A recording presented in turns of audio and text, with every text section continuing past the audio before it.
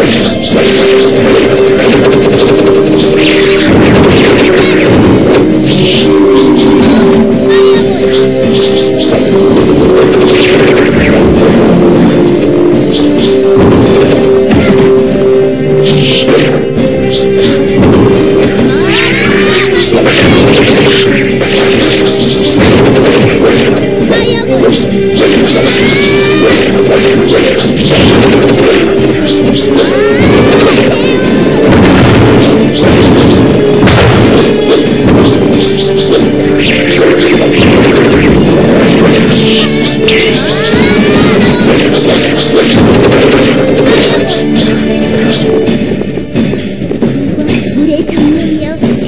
해주세요. 나를 주세요 너무 세게 했나요?